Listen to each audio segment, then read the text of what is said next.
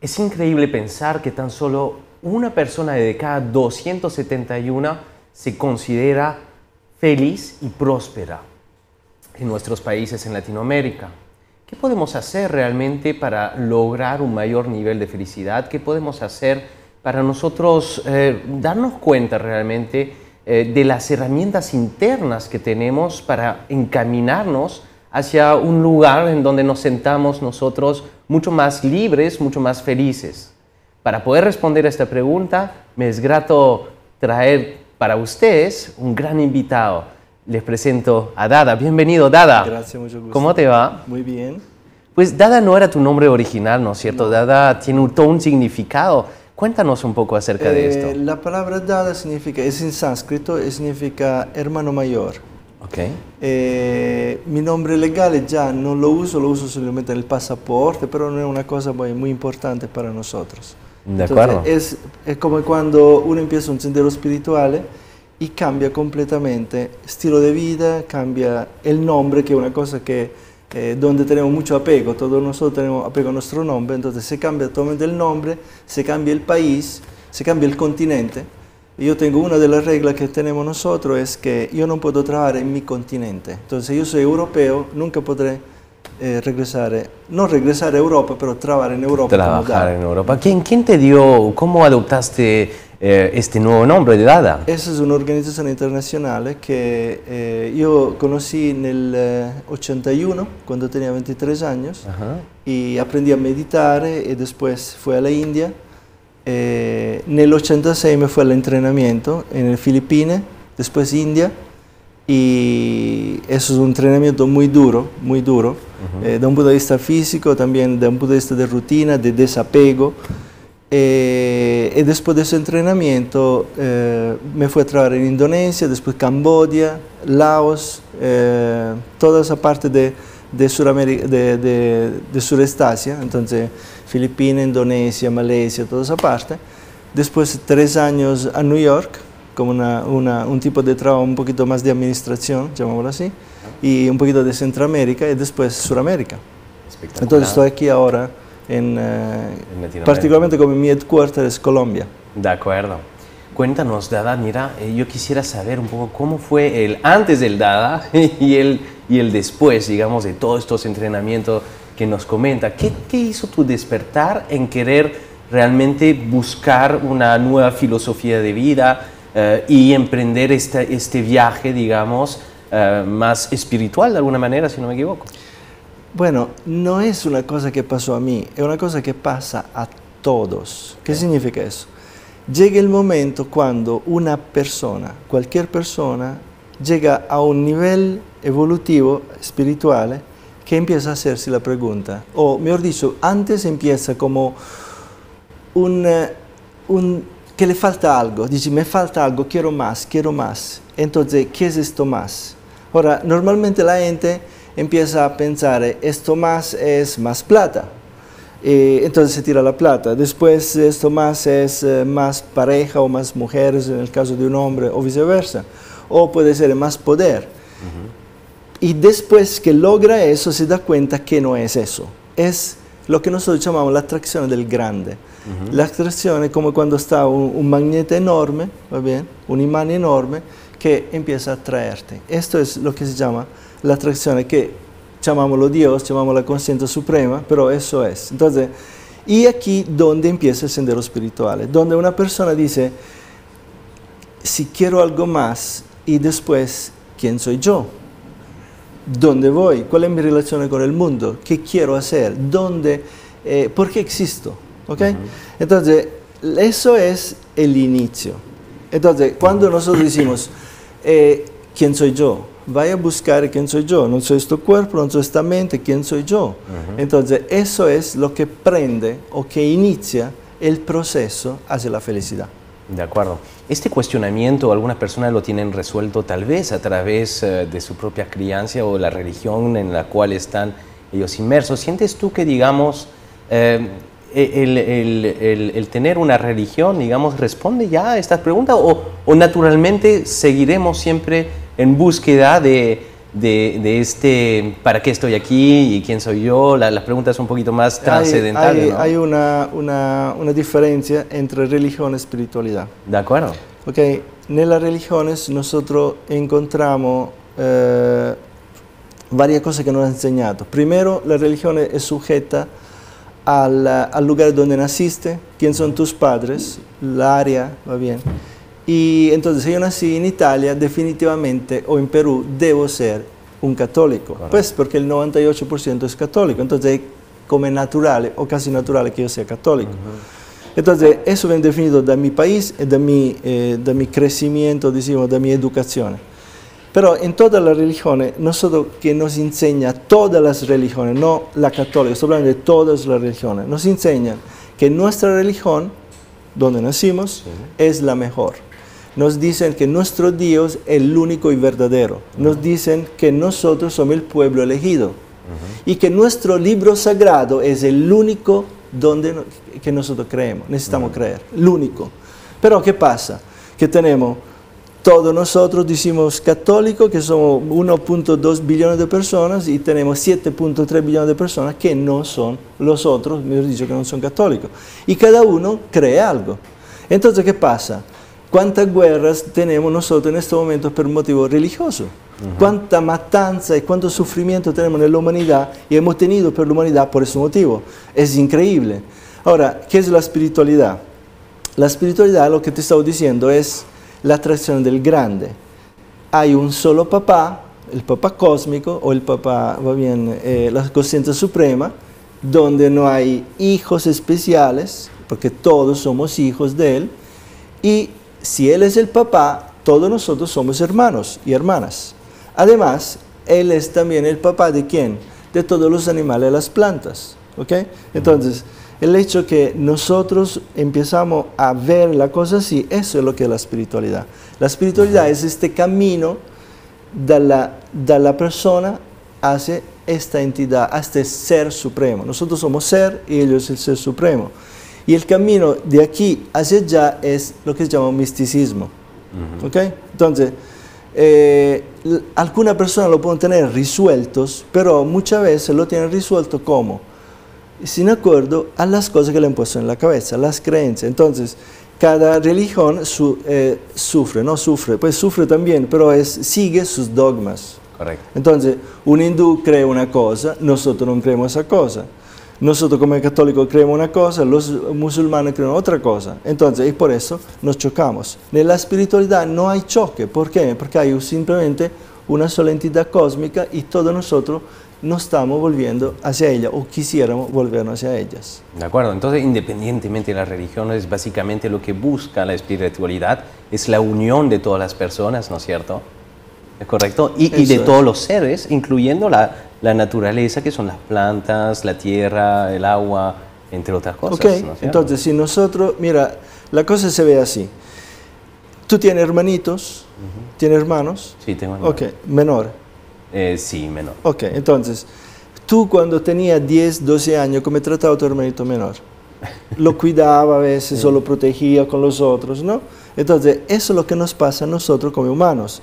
Si nosotros como humanos somos los más poderosos, porque podemos controlar la- los elementos, vamos a decir, el, el elefante más grande no tiene más poder que nosotros, entonces necesitamos cuidar estos hermanitos menores que son plantas y animales. ¿Y cómo lo cuidamos?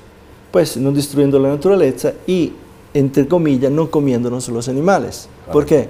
Porque si nos, por eso nosotros somos vegetarianos, es una cosa importante para nosotros. Además que, dal punto de vista ético, que es que estamos hablando, pero está la parte de la salud, de, de varias otras cosas. Espectacular, mira, qué, qué- qué linda filosofía. Eh, en, eh, eh, en este camino, ¿no? Eh, en donde eh, tú encuentras estas puertas y tú me dices, bueno, nos pasa a todos, ¿no es cierto?, buscar un poco esta espiritualidad, pero para ti particularmente, ¿no? Mm. ¿Qué te hizo moverte? O sea, ¿cuál- porque muchas personas buscan la espiritualidad, pero sin embargo no, no generan todo este camino, ¿no? No todo este proceso. Pero claro, eh, nadie, es como decir, si yo tomo el camino extremo, Ajá. es porque yo quiero más. ¿Ok? Ahora, ¿qué quiero? Eh, la cosa es esta. Si tú eres una persona de familia, no, no hay un límite para ti llegar a la espiritualidad más alta, es simplemente una función diferente. Entonces no es que el monje es, es superior a la persona casada, absolutamente no, tiene funciones diferentes. ¿Por qué? Porque tú tienes tu familia, tienes tus apegos, debes estar en un país. Yo no tengo raíces. ¿Ok? Entonces, como sin raíces, yo me puedo ir donde quiero, hacer lo que quiero, en el sentido siempre de llevar una misión. Ejemplo, yo en este momento estoy trabajando en Sudamérica, entonces yo puedo voltear donde quiero por Sudamérica para llevar ese tipo de enseñanza. Y la enseñanza debe ser totalmente selfless, como se llama, ayudar a los demás sin esperar nada en cambio. Correcto. Entonces, por ejemplo, ahora hace poquito estaba con un grupo de chicos y chicas hablando de espiritualidad y noto que hay una necesidad enorme de saber qué es el ser, porque muchas veces estamos perdidos con Cuéntanos, ser. ¿qué es el ser?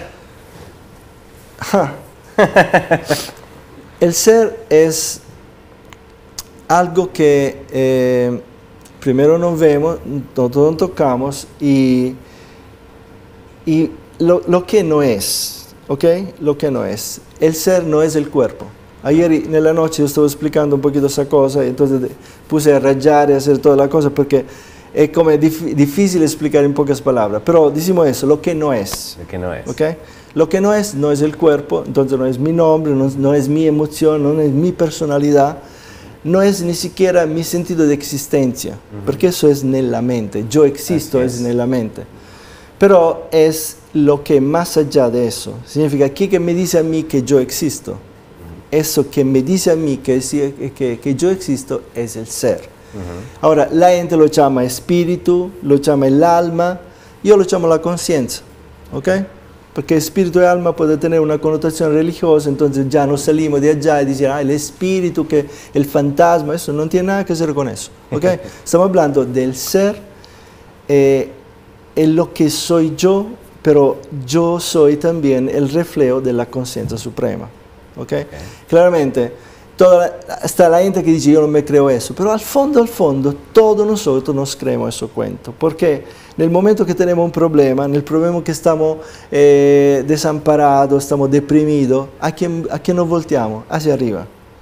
Cuando somos, nos sentimos poderosos, cuando el ego es engordo, que la mente manda, y no tiene conciencia que existe una conciencia, diciamo, existe el ser, entonces ¿qué pasa? Yo soy totalmente consciente de mí mismo y vivo solamente por la plata, por el poder, por el placer todo eso. Cuando empiezo a despertar me doy cuenta que eso no es. Entonces, ¿qué es? Y la manera para encontrarlo es la, es como se llama, voltear la luz. Ahora yo tengo la luz hacia aquí, hacia allá, ¿ok? Ahora volteo la luz y miro hacia adentro y allá donde encuentro. En esa búsqueda del ser, ¿no? Este, eh, e-, es muy interesante porque realmente si tú no tienes un ser libre, tranquilo, si no tienes un ser, em, digamos, eh, empoderado, ¿no es cierto? Pues vas a terminar actuando, ¿no es cierto?, mucho o jugando papeles en la sociedad, ¿no? Ese papel de ser egocéntrico, él decía, o de mostrar poder, o el papel, digamos, de, jefaturar, o el, el, papel, digamos, que te da tu tarjeta de presentación en las organizaciones, ¿no? En este camino de búsqueda del ser, ¿no? Eh, y, en tu modo, eh, en tu modo de ser también, pues, mm. ¿no? Eh, utilizas mucho lo que es meditación, ¿no es cierto? y, he leído muchísimo y yo también he practicado meditación vipassana, entre otros estilos de meditaciones, ¿no es cierto? y es muy interesante porque fíjate que hubo un estudio internacional donde se demostró que eh, la persona más feliz del mundo, ¿no? Pues era un francés que es monje, Mathieu, se me fue el apellido. Es, es. ¿no es cierto? Había sido comprobado científicamente ser la persona más feliz del mundo cuando lo midieron en una fase justamente de meditación. ¿Qué sucede cuando uno medita eh, internamente, biológicamente? ¿Qué sucede también en el ser en, ese, en ese momento? Eh, él eh, fue considerado la persona más feliz del mundo porque fue el único prácticamente. Entonces, Pero no es que él es la persona más feliz del mundo. Hay muchas personas, tal vez en un monasterio o de cualquier parte, o también en el centro de Lima, que fue más feliz que él. Eh, la meditación es anular la mente. ¿ok? La palabra yoga significa unificación. ¿ok? Entonces, la unificación entre la mente, eh, ¿cómo se llama? La mente individual y la mente cósmica. ¿okay? Entonces, ¿qué es meditar? Meditar es el proceso gradual para apagar la mente. La mente es como el onceavo sentido, ¿ok? Nosotros tenemos todos los sentidos que son en la mente consciente, que todo el, mente, todo el momento nos, nos pone en agitación, y la mente es otro sentido. Nosotros nos, nos, identificamos con la mente, pero no somos la mente, somos ser, ¿ok? Entonces, ¿qué pasa? Si nosotros vamos a apagar esta mente, decimos, ya, en este momento no me sirve como no me sirve el carro que tengo parqueado abajo. Lo tengo, me sirve hasta que me voy allá abajo, pero en este momento no lo uso. Entonces la mente la apago y en ese momento yo voy a, a come llama, a, a transformare, eh, a volteare dalla parte del, della mente, la mente la absorbo nel ser y el ser lo absorbo nel ser supremo. Eso lo que se llama samadhi o moksha o nirvana o paraíso, ¿ok? Es todos estadios de, de, de, unificación con Dios. Cuando vemos los santos, ¿usted ha notado cuando los santos lo ve con la aureola? ¿Qué es esa aureola? Esa aureola nos muestra que esta persona tuvo la elevación de una energía espiritual que se llama Kundalini y que llegó a, un, a unos chakras, a unos centros de energía muy evoludo, elevado, y nos llevó a eso, a ese estadio, a ese estadio elevado. Hablando de felicidad, Dada, pues eh, yo sé que en tu proceso, digamos, en tu, en tu estado de ser, practicas mucho lo que es meditación. Y es más, eh, investigando sobre ello, ¿no es cierto? He encontrado también estos estudios que hablan de Richard Mathieu, eh, un, monje biólogo francés también, que ha sido demostrado como una de las personas más felices en el mundo eh, en su estado de meditación porque le hicieron toda una, una, una toma, ¿no es cierto? Okay, Cuéntanos un poco cómo lo que es meditación puede ayudar, ¿no es cierto?, al estado del ser, biológicamente también en el cuerpo y eh, en la felicidad. Ok, de, la, de, las últimas investigaciones hechas a él, que no es el único, va a ser el más feliz, llamamos el más feliz porque lo, lo, lo, lo estudiaron. Correcto. Y él ha pasado muchas horas haciendo este estudio porque también el Dalai Lama le dijo, ayudamos porque si es espiritualidad verdadera, debe ser eh, totalmente en línea con la ciencia. Correcto. Ahora, lo que pasa es, los yogis descubrieron los centros de energía hace miles de años y ahora con la tecnología nueva se está mirando y se está viendo la vibración de los chakras, ¿ok? Entonces eh, están algunas máquinas que tú yo lo probé una vez, tú lo pones aquí o aquí empieza a, a dispararse, pues, como llama, a llegar a altos niveles. ¿Por qué? Porque aquí hay mucha más energía. son puntos de energía. Es un punto, son varios puntos de energía, o bien que se crean en una particular manera. Entonces, eh, ¿qué pasa? Que estos chakras controlan el sistema glandular y las glándulas controlan las hormonas y las hormonas controlan las emociones. Entonces, es una cadena. En el momento que yo tengo control de la mente de los chakras, que controlan las emociones, automáticamente esto yo puedo decidir si soy feliz o infeliz. Puedo controlar mis emociones. Entonces hay varios modos para hacer eso. Uno es el cuerpo.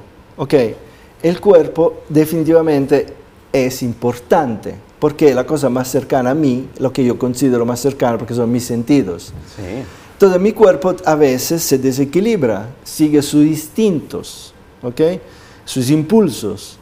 Y mis, mi impulso, si a mí me gusta tomar trago, ¿o bien, eso es un problema porque mi cuerpo ¿o bien, eh, va a sufrir de eso también mi mente y claramente mi espíritu. Entonces necesitamos tener un sistema científico para poder controlar el cuerpo, la mente y el espíritu. Entonces, cuando nosotros meditamos, la meditación es un sistema sintético que nos permite de eh, anular, la, primero controlar el cuerpo, el, cuerpo es la plataforma que me sirve para saltar, ¿sí o no? Después el cuerpo, del cuerpo está la mente, o los primeros niveles de la mente.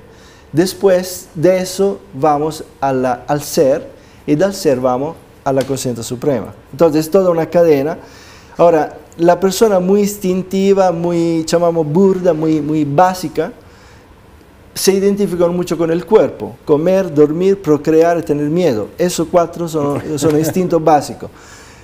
Y que muchas veces no se pueden controlar. la mayoría La del mayoría, tiempo no se claro. puede controlar. La Sobre mayoría todo los miedos, ¿no? Muchas personas, digamos, pierden todo control sobre Mira, ello, ¿no? hay esas cuatro emociones. Comer. Comer. Tú más comes más tienes ganas de comer. ¿Ok? sí.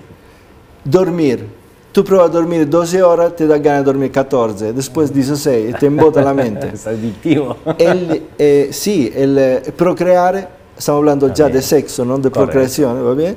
Y el miedo. Más tú piensas en estas cuatro cosas y más aumenta el riesgo de tener esto, este tipo de cosas disparada. Entonces, ¿qué vamos a hacer? Vamos a controlar esto, ¿ok? Uno de los métodos, o varios métodos, es, uno es alimentación equilibrada para el cuerpo, las- los ejercicios de yoga que se llaman asanas, del Hatha Yoga, per, con- per- per controllare más o equilibrar los chakras, los centros de energía, y controlar el sistema glandular, que son muy importantes porque son las hormonas y las emociones. que van a influenciar Que nos van a influenciar muchísimo. Y, y- y obviamente Todo en lo que eso, es eh, absolutamente. la actitud y comportamiento. Después tenemos eh, la parte de la, de la meditación. Entonces, de la meditación que ya va en los niveles más sutiles de la mente que nos permiten de hacer eso.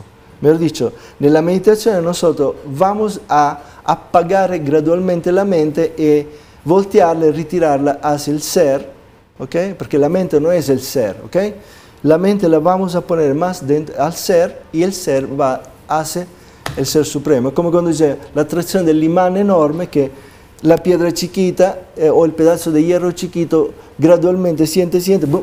y, Y se, se- pega se pega, al ¿no otro. es cierto? Ese es eh, el proceso de la meditación. Ahora, hoy día está pasando que por todas partes se habla de meditación. Por Correcto. todas partes se habla de yoga, porque, porque el yoga hace 20 años era una cosa así como de elite, pero ahora se volvió una cosa de negocio. Ahora, cuando el negocio entra en un mundo, cualquier mundo, no es que el negocio es malo, es el punto, es cómo alguna persona hace. usa el negocio. ¿ok? Entonces, el negocio ético, el negocio no ético. Ejemplo, aquí quiero informar a todas las mujeres, porque me pasó ahora una chica que estaba ya eh, en la, en la biocasa. Ahora, em, ejemplo, mm, muchas personas dicen a una persona en embarazo, una mujer en embarazo, dice, haga yoga, es muy bueno. Ahora, si hace yoga de verdad, eso es criminal, porque eso es malo, sea para la mujer que para el bebé. ¿ok? Pero si tú me pagas mi mensualidad, yo te acepto. Es el negocio no ético. No ¿ok? ético. Entonces, Cierto. después un mes del embarazo, del, embarazo del, del nacimiento del bebé, entonces es muy bueno hacer yoga. ¿Por qué? Porque reequilibra el sistema, eh, eh, ah, ¿cómo se llama? Fisiológico. Mm, Fisiológico, ¿va bien? El sistema glandular. Entonces, hay cosas y cosas. Es como si yo te debo enseñar a meditar, yo te puedo cobrar. Te puedo enseñar la primera lección y te cobro, no sé cuánto, mil dólares, y la segunda lección te cobro tres, y después, ok. La meditación es una cosa que no se puede cobrar. ¿Por qué? Porque tiene un valor tan inestimable que no le podemos dar valor. Además tiene un, una- una- un motivo, otro motivo. Decimos que Mauricio Bock tiene la plática en el bolsillo para pagarme mil dólares. Espero que sí. Pero imagínate que me llega un chico de 16 años sin un peso en el bolsillo que quiere aprender a meditar. ¿Qué hago yo? Digo, ¿me pague mil dólares? Bueno, no puedo enseño. hacer eso. Entonces, gratis para todos. Gratis para todos. Gratis para todos. De hecho, eh, eh, la- las meditaciones más ancestrales o, o más, más puras de alguna manera, pues practican esto de manera completamente eh, gratuito para todos, ¿no es cierto? Y lo hacen a nivel internacional, Debe incluyendo en los retiros la comida, todo, todo, todo gratis. Y se basan en donaciones, obviamente, porque tienen que funcionar, ¿no? Eh, eh, No y hay problema pues, con ¿no? eso, pero la cosa es la motivación que nosotros tenemos cuando hacemos cualquier cosa. Ahora, si hay una motivación bonita, tú llegues donde quieres, pero, y eso puede ser en la meditación, puede ser a un Invia Lab. Correcto. Si nosotros tenemos el sueño de llevar educación muy barata o aún gratuita en toda Sudamérica, o América Latina, como lo llamamos aquí, Sí. lo- eso es el sueño. Ese es el entonces, sueño, ¿no? Es ayudar. entonces, si esa es nuestra verdadera motivación, una cosa. Si nosotros empezamos a ver con una agenda personal, la cosa cambia totalmente, porque aún tú actúas en la misma identica manera, tu vibrazione è differente. Esa vibrazione differente è che crea il problema o che crea eh, la, la, falta di éxito che tu vai a lograre nello, nello che tu quieri llegare, nel, nel tu meta. Entonces, eso es, es básico, Es la básico. vibrazione personale. Tu non cambia una persona con lo che tu dici, tu cambia la, vibra- la persona con la vibrazione che tu tieni e con la che tu haces. La experiencia que generas. La esperienza, mira, hay personas que pueden tener una grandísima esperienza, pero si la motivazione interna no combina con la vibrazione externa, no van a tener éxito. Es correcto, ¿no? La, la- la interconexión. El De de ser auténtico. a como ser dices. auténtico, ¿Listo? ¿no? Eh, hemos hablado mucho de interconexión entre el ser, ¿no es cierto?, y los demás. Hemos hablado y también planteado, ¿no es cierto?, las situaciones en la cual, eh, digamos, todo el mundo en algún momento en su vida busca, digamos, este lado más espiritual, ¿no es cierto? Y hemos hablado también de algunos mecanismos para poder lograr mayor felicidad o mayor equilibrio, que está basado en la comida, como mencionabas, ¿no es cierto? En, en no generar apego para ciertas, eh, digamos, agentes de, de atracción, como que puede ser eh, el sexo, el miedo, este, el sueño y demás. Hemos hablado de cómo a través de la meditación podemos también abrirnos más y poder este, básicamente cancelar, digamos, este último sentido que tenemos, que es el pensamiento, ¿no es cierto? Para centrarnos más en un equilibrio biológico, en un equilibrio espiritual, de alguna manera. ¿Qué otros... ¿Qué otros, eh, ¿Qué otros componentes podríamos poner en práctica realmente para ir en un camino de, digamos, mayor felicidad? Finalmente, ¿qué es la felicidad? ¿Cuál es ese es- estado que buscamos todos los seres que estamos Ok. eh, en el mundo, ¿no? La felicidad es también un equilibrio, porque la gente piensa que la felicidad es dedicada para los pobres y los ricos son malos Ajá. y los pobres son buenos. No es verdad. Lo que pasa es esto, es que todos nosotros como seres humanos somos igualitos, ¿ok? Todos somos eh, normalmente egoístas, apegados, nos tiramos a nosotros mismos y tenemos nuestras debilidades, todos. Hasta que no empezamos a despertar, cuando empezamos a entender que no somos nuestro cuerpo, que no somos nuestra mente, que somos nuestro espíritu, que somos el ser, el ser de verdad. ¿ok? Cuando nosotros empezamos a entender eso, se empieza a cambiar un poquito la cosa. ¿Por qué? Porque da la pregunta dice, bueno, entonces yo quiero yo, yo, yo, yo, yo, yo, yo, ¿ok? Ahora es, pues entonces yo porque estoy viviendo, quiero contribuir, quiero hacer algo más, ¿ok? Entonces aquí es donde ll- llega el equilibrio. Yo puedo hacer dos cosas. Uno es la búsqueda de, de mi felicidad y el servicio a la humanidad.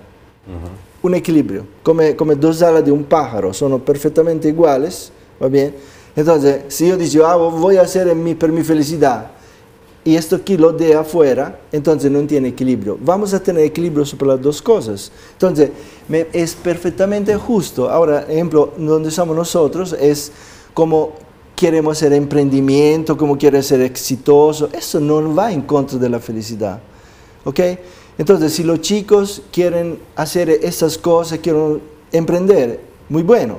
Lo que queremos es que sean perfectamente conscientes sobre el ser, quién son ellos, quién que está sufriendo o quién que está haciendo esa cosa es la mente, ¿o bien? Y que deben seguir o se deben seguir los valores universales morales, ¿ok? ¿Por qué? Porque en el momento que tenemos, somos emprendedores honestos, íntegros, y somos, eh, ¿cómo se llama? Queremos hacer las cosas bien, y ¿qué pasa? Que automáticamente el éxito llega sin ningún problema. Y hoy estaba diciendo propio eso. No es el punto de ser espiritual como algo allá y y una cosa etérea, no. La espiritualidad debe ser algo práctico que tú puedes usar todos los días en tu vida. Si yo te enseño una espiritualidad de Himalaya, a ti no te sirve nada, porque tú puedes vivir en cualquier otra parte del mundo. Pero si yo te enseño una espiritualidad práctica que tú puedes usar en la vida de todos los días, de todos los días, Correcto. y te enseño cosas que te resuelven tu problema físico, tu problema psicológico, ¿va bien? y que te, te, te empujan a entender más quién eres tú, automáticamente cualquier cosa hace tú después va a ser exitosa. ¿Por qué? Porque el ser es muy poderoso. En el momento que el ser está protegido, ¿va bien? Todo el resto tú lo puedes construir. ¿Va bien? Esta, este piso aquí es piso que, no sé qué piso es. Bueno, si nosotros estamos en el primer piso, en el primer piso podemos, tenemos, necesitamos un primer piso para hacer un segundo piso y un tercer piso. Ahora, si tú no tienes el ser, ¿cómo tiene el primer piso? ¿Qué va a construir arriba? Entonces, la, la, idea es, la cosa que yo quiero hacer es esta. Vamos a trabajar mucho sobre el ser, ¿ok? Sobre el ser, de modo que los chicos y las chicas entiendan cómo vamos a crecer. Y después de eso, que pongan todos los pisos que quieran y que sean exitosos, y que sean chicos íntegros, ¿va bien? Y que sean felices. Porque la felicidad sola significa la única felicidad suprema allá no entra emprendimiento, no entra el cuerpo, no entra nada. Esa es, decimos, la meta. Pero para llegar allá también necesitamos comer, necesitamos tener un techo, necesitamos tener educación, necesitamos salud, ¿ok? Entonces, todo ese tipo de cosas nosotros la necesitamos, ¿ok? Entonces, eso es como podemos mezclar ¿eh? en un modo muy lindo, eh, epiblending, ¿ok? Como podemos mezclar dos cosas como como entre la búsqueda de la felicidad, el ser entonces, y la parte de la, del mundo. Del mundo, la ejecución. Del emprendimiento, de la acción, todo eso. Entonces, volvernos mucho más eficaces y efectivos en las cosas del mundo. ¿Por qué? Porque somos ya, eh, hemos entendido cómo funciona nuestra mente, nuestras emociones y cómo nosotros podemos, ¿cómo se llama?, eh, resolver muchos de los problemas que tenemos ahora eh, depresión, estrés. Ese, yo me identifico con mi mente, claramente estoy deprimido, pero en el momento que yo me identifico con mi ser, yo no puedo tener depresión. Entonces, ¿quién es que tiene depresión? Pues mi mente.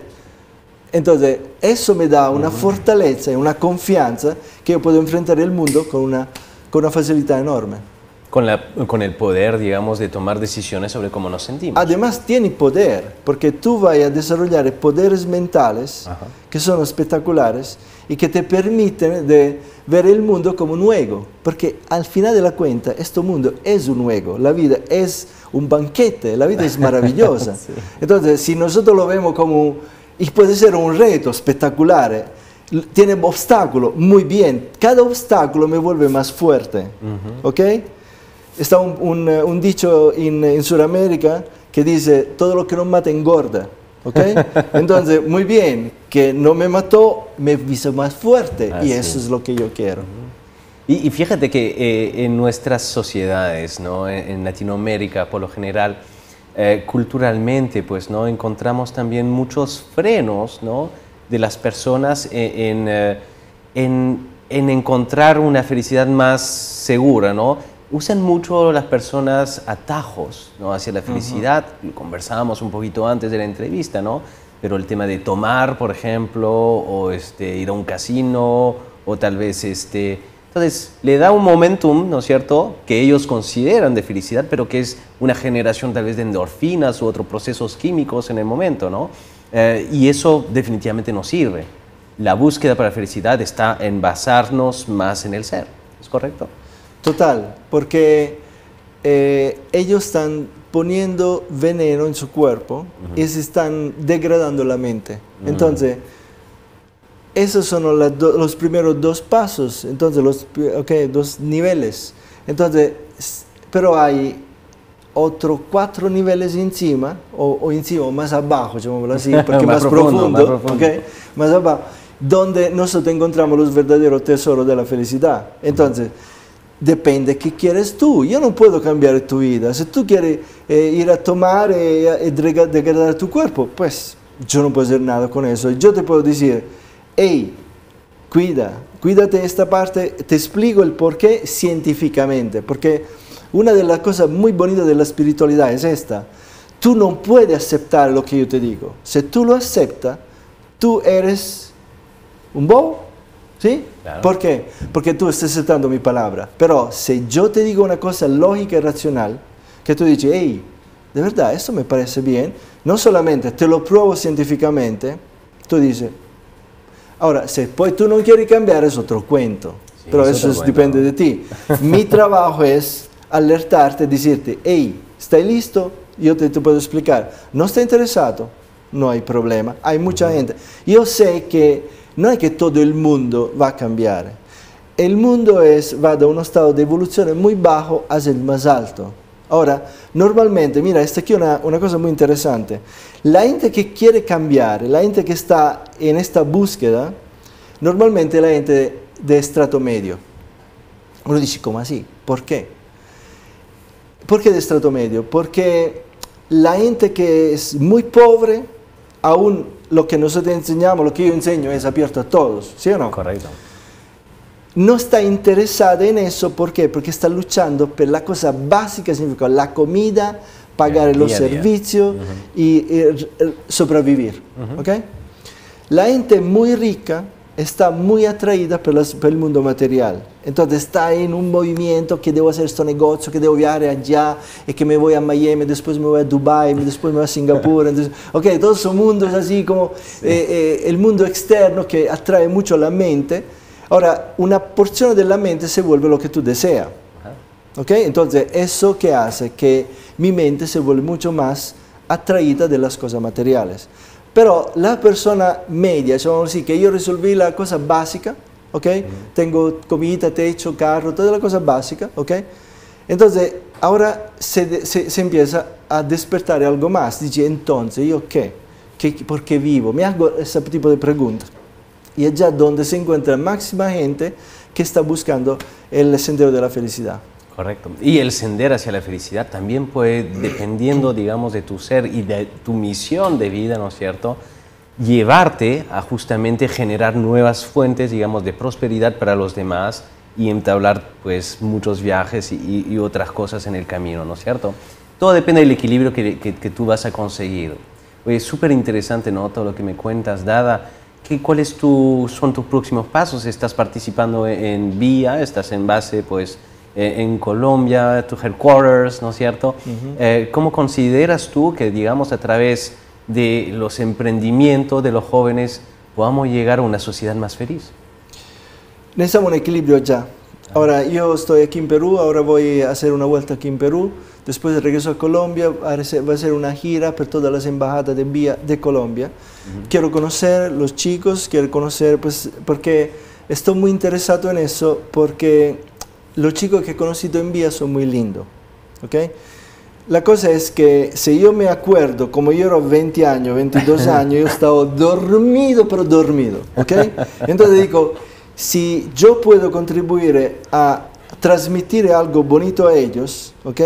Espectacular. Entonces, y la otra cosa es que muchas veces a esa edad tú no sabes qué quieres, ¿ok?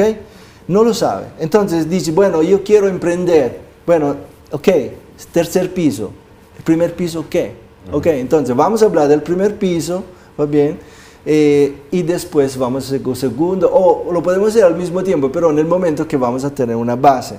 Entonces, eh, ese es el plan y, vamos, vamos a continuar con, con, con este proceso, porque lo que tú decías ahora es, cuando una persona llega a tener esta felicidad, después lo quiere dar a los demás. Eso es normal. Tú mira, tú pones una jarra, va, va, una caneca de agua, ¿ok? Entonces, ¿qué pasa? Cuando la jarra se llena, hace mucho ruido, ¿sí o no? Porque siente el agua. Cuando la jarra está llena, el agua empieza, primero se queda un silencio, después el agua empieza a salir, ¿ok?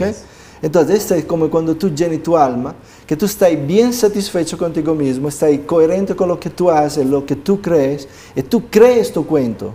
Porque si tú no te crees tu cuento, tú no puedes transmitir nada. ¿okay? Entonces, tú debes vivir tu cuento.